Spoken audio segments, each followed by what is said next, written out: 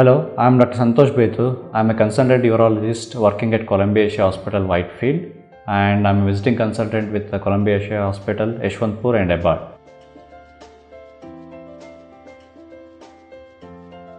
So, the enlargement of testes can be because of number of reasons. The testes is, is just a small gland. It's also surrounded by some coverings. So, if there is a swelling in the testicles or if there is any accumulation of fluid in the surrounding coverings, both things can cause looks like a swelling in the testicles. The most common cause of swelling in the testicles is usually infection. It's called as epididymo-orchitis. The enlargement can be because of sudden acute events like something called torsion of testis, which is a medical emergency where the testis rotates on its axis and cause swelling in the testis, severe pain and fever. If that happens, immediately has to consult any emergency doctor.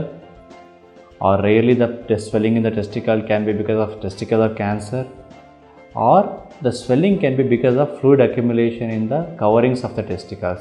Usually it is called as hydrocele.